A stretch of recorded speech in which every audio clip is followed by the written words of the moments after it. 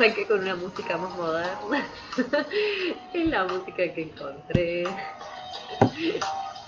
Igual, eh, nada, quiero hacer una introducción cortita porque lo que les quiero leer es un poco más largo de lo que suele ser.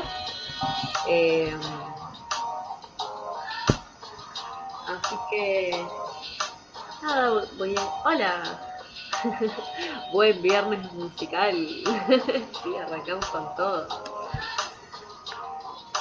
Eh, bueno, y eso, y no me puedo demorar mucho porque después sigue la Meli. Eh, sigue la Meli con, un vivo de, ella que me dijo el Andrés que está muy, muy bueno lo que está haciendo. Yo todavía no tuve tiempo para verlo, pero ya lo voy a enseñar. Eh, así que bueno, eh, les voy a leer un cuento de Mempo Giardinelli. Hola Carmen, hola Silvia, hola la otra Silvia, hola Elena, que es mi alumna de teatro, Irene, bueno, em, eso es lo que voy viendo, porque no sé si me aparecen todos los comentarios acá, pero bueno, igual yo después eh, entro a la página y las leo a todos, así que escriban nomás que estaremos conectadas, conectadas, somos todas mujeres acá, normalmente. Bueno, eh, les decía eso, que voy a leer un cuento de Mempo Giardinelli, que ya les he leído alguna vez eh, algo de él y la verdad es que a mí es uno de mis escritores favoritos, no les voy a mentir. Y hoy la temática, esta semana la temática es la del, Día de los Muertos, que fue el 2. Eh, así que el cuento es un poco sobre eso y es uno de mis cuentos favoritos. Ah, todo era favorito en este momento. es que sí, Mempo es mi favorito y este cuento es uno de mis favoritos, no es Y eh, se llama Allá bailan, aquí lloran. Eh, es uno de los cuentos que está en Nueve historias de amor, un libro que se publicó en el 2010. Hola Elsa, me encanta eh, que estén ahí siempre presentes, siempre puntuales, me encanta. Bueno, arranco con la lectura. Mempo Giardinelli, allá bailan, aquí lloran. Juana hunde la pala y se seca la transpiración. Vuelve a hundir el instrumento en la tierra, quita otros terrones, respira agitada, dolorida y sigue, y sigue. Cada tanto se yergue, se inclina para atrás, arqueando la espalda y luego vuelve a paliar. Piensa que antes de que oscurezca debe tener el fuego encendido en ese rectángulo de tierra que está preparando, como de cuatro metros por cuatro. Oye la música de la bailanta que se organiza en la otra cuadra, en el rancho de Vicenta Torres. Chamamés, invitadores, uno que otro paso doble. Acá también se escucha una fiestita. alguna cumbia alegrona, procaz, incitante, y prefiere no pensar en la alegría de ese 24 de junio, cuando todo el pueblo se lanzará a cruzar las brasas encendidas con los pies descalzos, sin quemarse, así dicen, porque es la noche de San Juan, y en todo el Chaco se celebra la fiesta de Tataye Hazá. Eso supongo que es guaraní y vuelve a paliar porque ella no siente alegría alguna, porque en el interior de su rancho, entre cobijas y sobre la mesa de madera junto al catre donde se apretaron unas pocas veces, ahora le parecen demasiado pocas, insuficientes, bajo una cruz de bronce que le prestó el cura y rodeado de una decena de velas ardientes, está el cadáver de Rosauro, con su cara inquieta y relajada y sus ojos eran negros y bellos y saltones como los de un yacaré, cerrados para siempre, y vuelve a paliar, para no pensar más. En la victrola ponen ahora Puente Pessoa, y el rasguido doble llena la tarde, mientras Juana se arquea otra vez y ya parece que termina el cuadrilátero justo antes de encender el carbón que rociará por todo el espacio que prepara porque ella es devota, se dice, y no es cuestión de fallarle al santo. Y aunque no irá a la fiesta, ella cruzará las brasas, como al Rosauro le hubiera gustado. Si en cierto modo por eso lo mataron. Bueno, no fue así exactamente, pero en cierto modo sí fue, porque él quería lucir esa noche del 24 unas alpargatas nuevas, negras, de lona limpia, que suplantaran a esas bigotudas que ahora sobresalen del borde de la mesa, detenidas para siempre, nunca más bailadoras, nunca más andariegas, juguetonas. Él quería unas alpargatas nuevas y por eso se conchabó en el ingenio.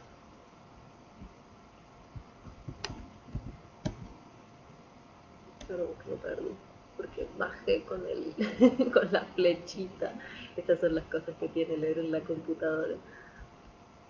Y por eso se conchabó en el ingenio, aunque le dijeron que no lo hiciera porque estaba en huelga y no era cuestión de ser carnero, porque la solidaridad, los ingleses explotadores y todo eso. Pero ella sabía que él no tenía ninguna mala intención, solo quería unas alpargatas nuevas y también plata para una tela floreada con la que ella, Juana, se hiciera un vestido para la fiesta de San Juan.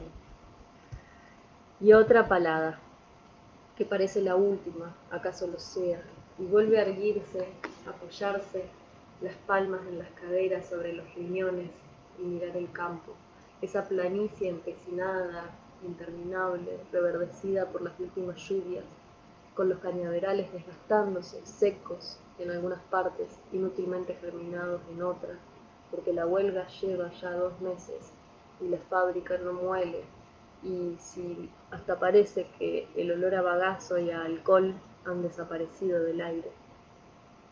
Y entonces una última palada y aprender el fuego de carbón de leña como ella sabe hacerlo, creándole un corazón de llamitas en el centro, soplando suave pero indetenidamente por los costados, colocada en cuatro patas y apantallándolo con un pedazo de cartón para que crezca como un niño sano, como el que soñaron con Rosaura, con Rosauro, pero ella no tendrá porque acaban de llegarle las sangres de ese junio fresco, penas de otoñal. Y enciende el carbón de abajito, despacio, y bueno, fuerte el fuego, impetuoso, mientras escucha a mi linda paloma blanca y evoca un abrazo otra bailanta de hace un par de años y una escapada a la orilla de la laguna, el vigor de Rosauro soltándole el pelo y alzándole la pollera, y no puede evitar un estremecimiento ni el llanto que no reprime, porque después de todo se dice, ¿cómo no llorar si él está muerto? Y entonces se, se enjuga las lágrimas en el antebrazo moreno y vuelve a apantallar el fuego que sube lento desde el corazón como un sentimiento noble. Allá lejos se, oyen los primeros gritos, los saludos, los apucáis, y ella recuerda la noche de antenoche, cuando Rosauro volvió de la fábrica y dijo, estoy cansado, molido y tengo miedo. Y ella dijo, salite, Rosy. Andan diciendo que está mal lo que haces. Él replicó, solo sigo hasta el viernes, por la alpargata, ¿sabes?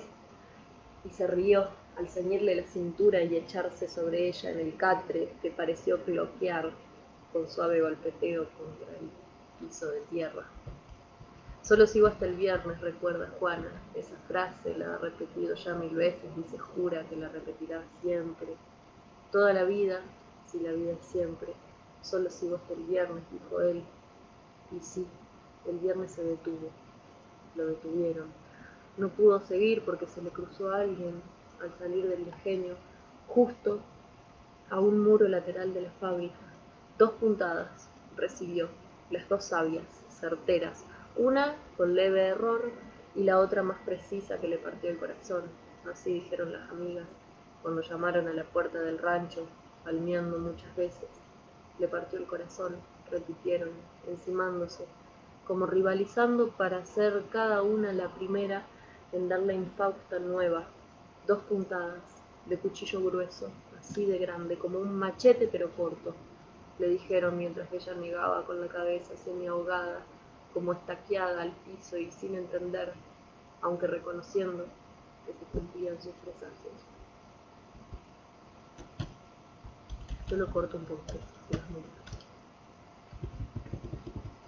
Como para quitarse la confusión, vuelve a pasarse el antebrazo por la frente, da un pisotón para repeler un mosquito que le chupa el tobillo y se queda mirando las llamas embravecidas, crepitantes que ya abarcan todo el enorme contorno de leñas. El fuego está listo, piensa, mirando subir las llamas. Se aparta un poco del calor y mira por sobre la fogata la inmensidad del campo y allá, como a 150 metros, la fiesta que se pone linda en lo de la Vicenta Torres, donde se ha congregado todo el pueblo para cruzar las brasas encendidas, porque en la fiesta de Tataye Hassá no se queman las plantas de los pies, y para después bailar y empedarse y gritar hasta el amanecer. Lentamente esparce el fuego, palada a palada, va colocándolo en el cuadro que ha trazado, de apenas unos centímetros de profundidad, concentrada mecánicamente en su accionar y sin pensar, sin escuchar los renovados gritos ni la música estridente de los guaguancó, que arrancan nuevos bríos al colgorio de la, de la otra cuadra, de donde también llega el ruido de un botellazo, un relincho, acaso un beso entre la hierba. Juana reparte prolijamente las brasas, que parecen adquirir nuevo brillo al caer, al despedazarse los carbones, y cuando acaba, suspira profundo, mira al cielo, se muerde el labio inferior para reprimir su dolor y se dirige al rancho, al que entra apartando la cortina de artillero. Se pregunta cómo seguir, si va a llorar, qué va a hacer ahora. Se distrae mirando las alpargatas viejas de Rosauro, que asoman sus hilachas bajo la manta que cubre el cuerpo todavía ensangrentado de pecho enrojecido y seco y frío, y piensa que debe haber sido el Rufino el matador, porque siempre le tuvo celos al Rosauro, porque la quiso primero a ella, pero cuando ella era muy niña y no lo aceptó hace no se sabe cuántos años. Y se dice que después de todo no importa, nunca lo sabrá, y siente una pizca de culpa, pero especialmente porque ahora es incapaz de llorar. Simplemente mira el cadáver y entonces empieza a hablarle en voz baja. Total está sola en el rancho. Todo el pueblo está en la fiesta de San Juan, y se ríe, irónica. Allá bailan, aquí lloran. Pero enseguida se pregunta quién llora si ella misma no es capaz de hacerlo, si no tiene fuerzas ni ganas, porque hay que tener fuerzas también para el dolor, para imaginar siquiera una venganza, y eso no, ella está sola, derrotada, sola y sin Rosauro. ¿Y ahora qué? Entonces piensan rezar, pero cuando llega a más libre, no del todo mal, se da cuenta que es inútil, que ni de eso tiene ganas. Quizá de bailar con Rosauro, pero eso nunca más. Entonces se pone de pie y da los dos pasos que la separan de la mesa y sobre ella se tiende, abrazándose a su hombre, decidida a no pensar más, ni en la huelga, ni en los cañaverales, ni en las alpargatas nuevas que él quería, ni en que debía llorar porque a los muertos hay que llorarlos, ni en que acaso fue el Rufino, ni en que le partieron el corazón de dos puntadas, una errónea, la otra espera, como le partieron el corazón. Y cuando la voz de Palito Ortega se repite en la vitrola lejana, y a ella como que le aletean los pies listos ya para entrar en las brasas, porque así debe ser en una noche de tratalles pasar y porque así lo iban a hacer juntos, él quitándose sus alpargatas nuevas y ella recogiéndose la pollera para cruzar sonrientes, confiados, medio rezando entre los rezos de la gente, quizá profiriendo grititos amorosos. Esas brasas de la casa de Vicenta Torres, cuando Palito canta La felicidad, ja, a Juana se le ocurre alzar a Rosauro y lo hace, robusta, pujante, abraza el torso de Rosauro, yergue su cuerpo semi-endurecido hasta que consigue ponerlo de pie, aprovechando la extraña rigidez encorvada del cadáver, y se lo lleva, medio arrastrando, medio forcejeadamente, respirando agitada hasta el patio posterior del rancho, donde arde el cuadrilátero de brasas, y allí se lanza, con el rosy grandote, el rosauro lindo, amado, pesadísimo en sus brazos, y pisa los primeros carbones que le queman la carne le calcinan chichirriantes las plantas de los pies, a pesar de lo cual ella danza, que la felicidad, la voz de Palito Ortega, parece que sube al cielo y baja sobre ellos dos. Y Juana soporta el dolor y se olvida de rezar. Única manera de que el tatá no te queme, le han dicho. Se olvida de rezar y desfallece. Y siente aterrada que se le cae el cuerpo del Rosauro, que empieza a chamuscarse en el fuego. Y ella titubea un segundo, pero se acuesta junto a él, aguantando el dolor, convencida de una vez y para siempre de que la muerte, la maldita muerte, no tiene por qué doler. Y aguanta, y aguanta, y aguanta.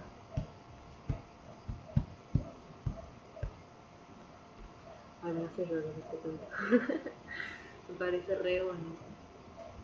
Espero que a ustedes también les guste. bueno. Eh, nada, me parece que el, título del cuento ya lo dice, allá bailan, acá lloramos, como que la muerte es más, es más triste para el que se queda que para el que se va, ¿no? Pero bueno, hay que bailar, olvidarse de los deberes ser, de los deberes ser en ese momento de que hay que llorar, de que hay que no sé qué, de que hay que comportarse de una u otra manera, cada quien soporta el dolor como puede. Bueno, algunos lo harán bailando, otros prendiendo el fuego, otros abrazándose a, a su marido. Bueno, ya me, ya me pasé un poquito de tiempo. Eh,